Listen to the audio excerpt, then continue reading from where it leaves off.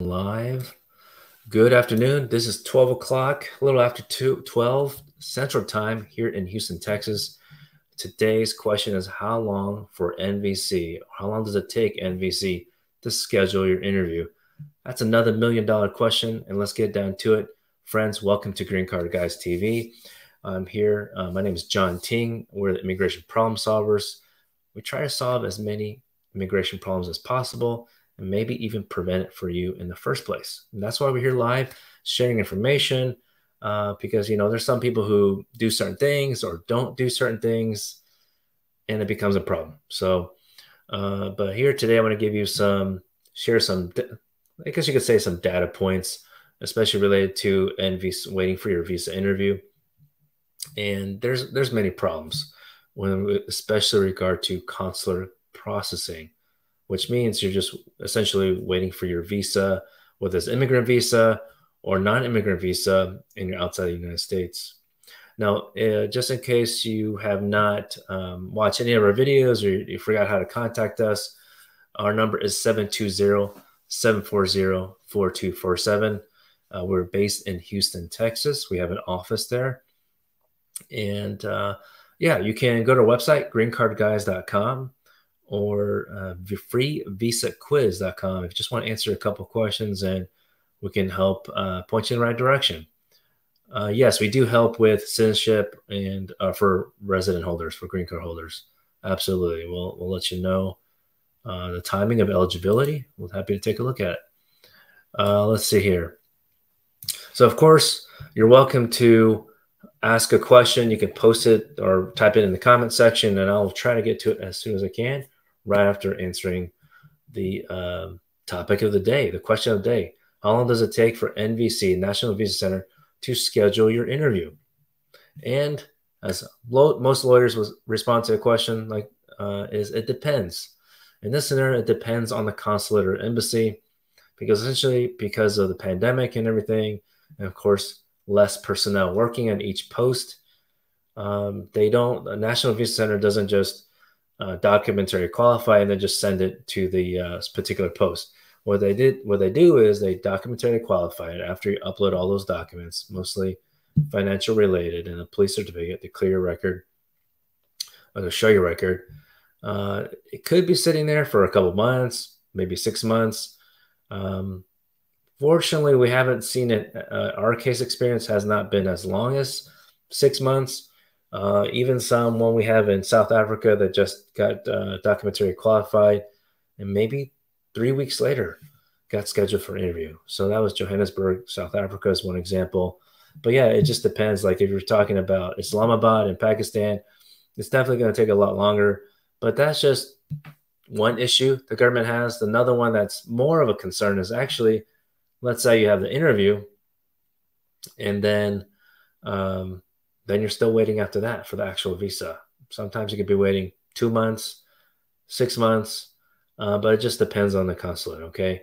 In general, worldwide, most people don't have to wait that long, but um, you know, some people will say, "Oh, I got this 221G and my case is stuck." Of course, many people respond to it, provide those documents requested or the DS 5535 the same day or the next day and they still don't give you an update what's going on. So you don't want to bug them too much, but you at least once a month you can submit an inquiry. Now, if they told you in advance, oh, wait 90 days, wait 60 days, because they have to go do what they claim to do, background security check, which is frustrating. You would think they just do that beforehand. So uh, they're not that organized, okay? But we do file lawsuits uh, in many different scenarios, but including that if you're outside America waiting. Okay, we do uh, just depends on the timing. Not every situation we can help with. We'll let you know, but the best way is you can ask down here below in the comments section. Um, ask me here, or you can schedule a consultation. By the way, if you do fill out the form, it's not an automatic cons- uh, consultation because it is no cost to you, but we have limited time. So our cares team, they're not lawyers, our cares team will call you within 24 hours of business day and see if, you know, we train them every day essentially. They'll see if uh, you're qualified for it. Essentially, if there's a way we can help you, then you, you'll likely get scheduled. Okay. Uh, let's see here.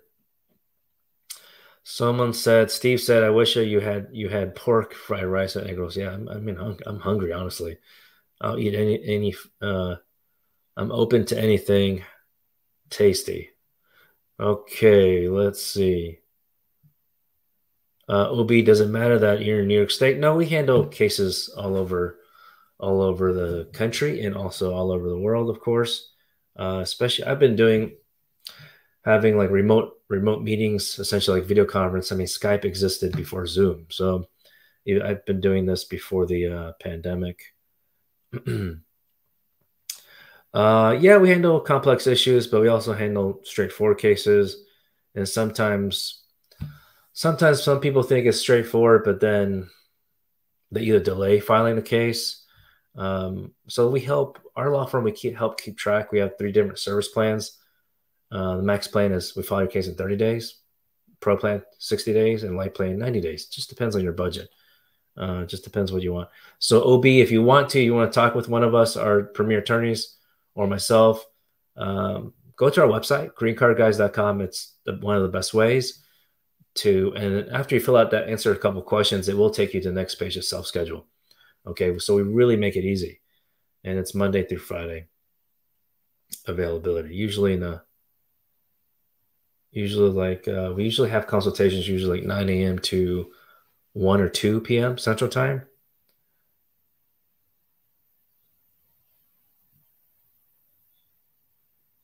Exactly ob that's that's right. Yeah it just depends. Some people are some people don't work so they have some time. Uh, some are, are busy so we're happy to help. Uh, let's see here. Okay so uh, I got the other thing to know is um, there's a recent situation. So aside from this topic, but yeah, if anyone has questions in general, you're welcome to post in the comment section. But in um, we've been able to get some interviews scheduled much more quickly. I guess you could say. Uh, one, we, we requested an expedite request because uh, unfortunately the uh, U.S. citizen petitioner, the spouse, had some um, they gave she gave birth, but there were some complications after the fact. So um, that was a good valid reason. Medical concerns was a valid reason to share with National Visa Center, which also could be shared with USCIS. So we submitted expedited requests for both, and that was for Lagos, Nigeria. Okay, so we definitely got that uh, going. It was scheduled maybe about one or two weeks after our request. So it's not a guarantee, but it's worth a shot. You know, they allow that right now, so it's just one other way for the government to, I guess you could say, prioritize cases. But if you don't ask, you don't know. All right. If you get denied the re- expedite request, doesn't mean they're going to put you even further back. That's not. uh, let's see here. Joseph, am I a lawyer? Yes. I don't always dress like a lawyer. I'm in a polo right now, but yes, I'm an attorney. I'm licensed in Texas. Thanks for asking. Uh, let's see here. Um, there's been some scenarios people coming up, and uh, for example, that that someone said that person got detained, for example, uh, likely because there's some kind of criminal issue, which some people forget. But drinking driving is a crime in all 50 states of America, and even if you have one beer, two beers, you know, alcohol affects people, different size, body sizes, could affect someone much sooner than others. So, but these days, it's easier to say now, but use Uber, use Lyft, or your regular local taxi company when you're when you're drinking and uh, before you go and drive. It's just not worth it. Okay, so we had a scenario. Someone called, and I can share this with you because it's not. I'm not saying anyone's specific name or the location, uh, but basically, yeah, they got detained and they're now in ICE custody and that person is a resident. No, um, in a situation where you're not eligible to become a citizen quite yet, right? And this person would have to file after five years in general, after getting resident status. But his spouse doesn't have any status. So it's kind of, it's kind of, you know, you might think, well, shouldn't the focus be on him only because he's detained? Yes. But in this situation, we really think far out in the future if possible, if for some reason he was order removed, at least before he gets order removed, we start the process for filing petition for on behalf for his wife. Because with court cases in general, there's thousands of cases ac- across America in these courts. It could take a long time. So in the meantime, might as well file for a petition on behalf of his wife because she doesn't have any status. So in the event in the future that uh, the husband, who is resident right now, gets order removed, then who knows? Maybe she could, if she gets status and just in time, then she can file for him in the future. So it's kind of like full circle. All right. So that just came across our desk a couple days ago. So that normally does it's not that's not often the case, but because usually the person who uh, that we have to help has no status, but this person has um, uh, this person has uh, what do you call it uh, resident status. so one thing we look at is uh, 42B cancellation removal for non-legal permanent residents. Um, of course, making sure they they've been living here for a certain amount of time. You like my decorations? Thanks. Yeah, I got the Obama book behind me. And a couple other things. The U.S. flag somewhere. I'm blocking it, but I got the world map behind me. Let's see. I might be missing some. Ziggy, you say you always see me coming up on your four FYP page, but never on my face. I don't know what that means. Alu V, uh, your husband just got a citizenship. Congratulations. What's the next step? You have your permanent resident case pending. Okay. Well, uh, oh, I see. Because they don't know. So I, I would mail a cover letter with a copy, copy, not the original, a copy of the naturalization certificate because if for some reason, God forbid, that you mail out the original certificate and they lose it, you're going to have to pay USCIS again, uh, another form to get another original. So you don't want to send the original. A copy is sufficient, but then yeah, just update them in the cover letter that he um, he's now a citizen. I would also send an approval notice of the N400, a copy of it. Always scan, always scan it, okay? Before you send it. Okay, I just had to report someone because this guy is kind of ridiculous.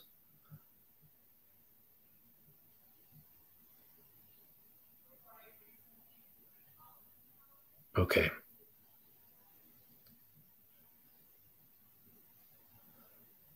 All right, all right. Yeah, there's someone saying, okay, let's see here. Mm-hmm. Can you submit it online? Alu, what was your original question? No, unfortunately, you can't. You can't let them know online. I wish that were the case. that would be a lot faster. That'd be great, but no, can't do that. You got to mail it in. Um, man, y'all are funny. Some people I don't have answers to some of your questions. If it's not immigration related, I'm sorry.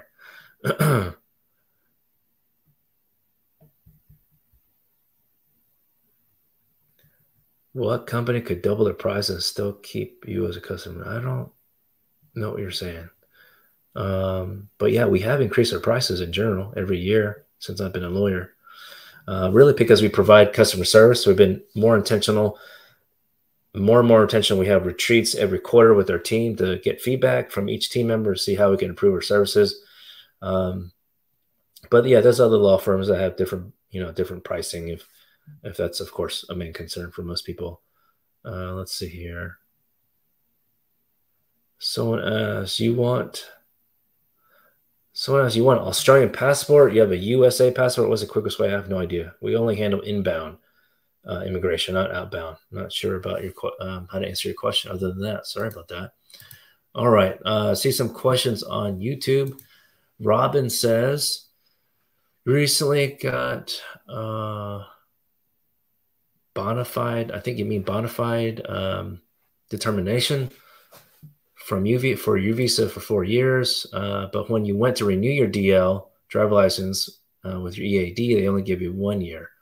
Wasn't supposed to be valid till my new bona fide EAD expires. You're confused. Yeah, I think that's more of a state issue. they don't. I don't think they have to give you four years just because it says it. it, it I think it depends on the state and their rules essentially. But I mean, yeah, in general, at least in Texas, I've I've seen that if, uh, if the resident card is valid for ten years, then they give the driver license. Actually, that, again, yeah, that has nothing to do about whatever immigration is. It's a state. It's a state rule situation. Okay, good luck, Robin. So check your state. Department Homeland, no wait, Department Motor Vehicle or Department Public Safety. Okay, Marlon, blessings to you. Thanks for joining. Good to see you. Uh, you ask if a person gets married in the U.S., they go back and consular. Will it affect the chance of immigrant visa? I think you're talking about yourself. I think you have a consular case, if I recall. Um, depends if you need a waiver or not. Did you overstay your visa? You don't have to share online here, of course. Um, but yeah, hopefully you didn't overstay your visa before and uh, you don't need a waiver. But if you did overstay by over 180 days at least, but less than 365 days, then that's a three year bar. Uh, but if you overstay by more than one year in America, then you you left, then that triggers a 10 year bar. So either way, you need to file for a waiver after the visa interview, after they officially determine that you're a person is inadmissible. Don't know your situation, Marlon, specifically, but hopefully you did not um, you did not trigger the unlawful presence bar. Alrighty. By the way, folks, if you enjoy the way, we, the way we share content, if you don't mind on TikTok, just tap the screen. Very easy. Or Instagram and YouTube, just cl click the like button and the hearts. Okay, Marlon, great. Glad to hear. No overstay. But yeah, if you in general, if you've just been in the U.S. before during your authorized period, uh, that that doesn't affect you. Okay, but they will ask on a DS260 form all prior entries. Okay. Ricardo. Ricardo, you're a derivative of your parents' case I-140. You got a pending 45 right now will and will be approved, or I think you're asking, will it be approved before because you're not Indian born, they are Indian national. Um, on the road, the PD is current, but not for India. So yeah, I realize on your on your uh, your parents, whoever is the principal applicant. You know, rely on on that person. Okay. Um, let's see. But if you have more questions about that, welcome to join. It's uh, it's chart. So as far as I know, it's chart B. But you want to make sure you want to check the USCIS website. Let me see if I can find it for you. See. The USCS has a website that tells you exactly which one to use, and it can change from time to time. So it's I don't like honestly don't like sharing it necessarily, but usually chart B. Oh wait, you're in the US, right? So yeah, check out this page right here. Because I did update several months ago about folks who are in the US. It, it can be confusing, but yeah. Yeah, it says for employment based, you want to use final action date chart. So that's chart A. Okay, yeah, stay tuned for that one. There was in general retrogression the past couple months, Visa Bulletin. Go to the US and see the belly. Interesting. All right, uh, let's see here. All right, well, hopefully that answers your question but yeah, uh, just want to recap some problems that we've we've uh, received that some people have mentioned. Is yeah, they've uh, they filed their case with or without a lawyer, and the 485 application is still pending, and it could have been one year, two years, and then um, yeah, they the officer uh, told them. I think one in one scenario, the officer told them that they had to recommended them to withdraw their application. Uh, that's not so much a problem. The problem is about, for example, if especially if you have a case in a uh, that's a country where there's so many different ways to get divorced. For example, like one example is in Nigeria.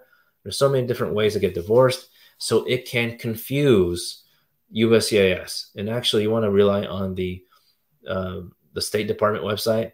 They have a table You just click for your specific country, and they have a list of entities, essentially, um, government offices that can provide that they recognize the divorce order, for example. Uh, because in Nigeria, for example, there are several ways to get married, but also to get divorced. Um, and I know with the SARS protest a couple years ago, uh, there was you know fires in government buildings, so that affected the ability for uh, getting the accurate information. And so, come to find out, there could be, and you wouldn't know, maybe the government office in Nigeria that issues out these divorce certificates, um, the clerk maybe put the wrong number, wrong case number. So if, if somehow the USCIS is able to check that and they see, oh, this one doesn't pop up in the online system, or you they called in and didn't pop up, that's a problem, right? But USCIS is not going to do the investigation, further investigation on your behalf to see if there's a way to help you, right? So you have to stay on top of it. If you hear in the news that your particular country has issues like that, like a protest, and they've put, you know, what do you call that? Um, committed, there's arson going on, there's fire in government buildings. You want to double check that. I mean, arson was just an extra extra unfortunate situation, but you know, even clerks could get things wrong. That happens in the U.S. I had to help fix a client's uh, criminal uh, document, and it come, when I researched it online, it was a wrong crime. It was a wrong classification. It was supposed to be Class B misdemeanor, but they had it Class A. So that's an extra due diligence that we do on our side, for example.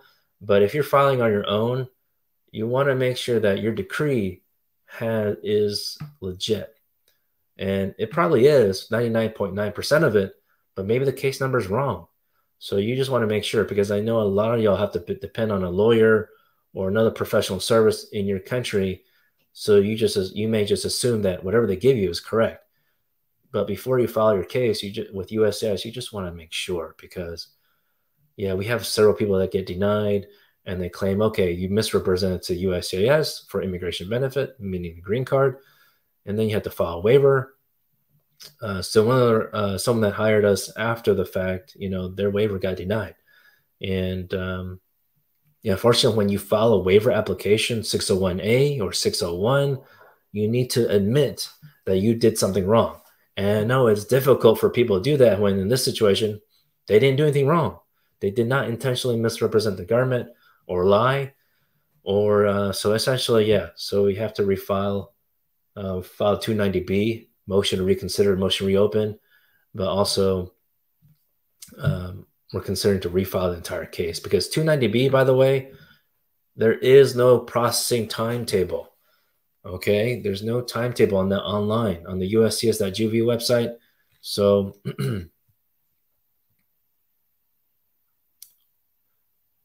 uh, so yeah, that's um, so you want to so that's why you may want to consider refiling 485 in general if you're in this kind of situation. But hopefully you don't have to um, be that in a situation. Okay. Kelly, for real, let's see. When is likely the NVC will send out uh, IL for this month for spouse visa? When is likely the date the NVC will send out the IL for? Okay. I was just repeating your question because it looks like you wrote it twice. Um, mean I, IV, the immigrant visa? Uh, it depends. Did you have the interview already? It just depends what stage your case is, essentially.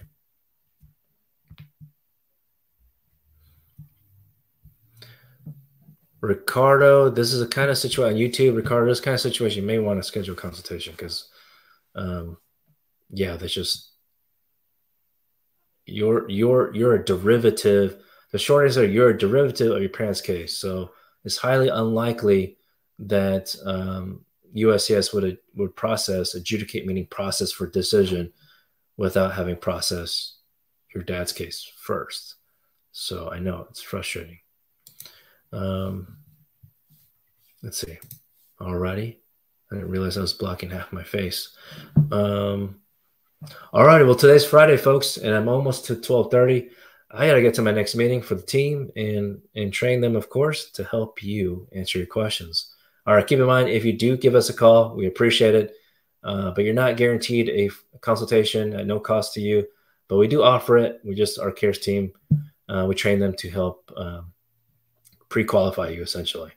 because we do get a lot of calls and we try our best. So that's why we go on these live shows. Maybe I can answer your question in the meantime. Alrighty. I wish you all the best and y'all have a great weekend. Take care.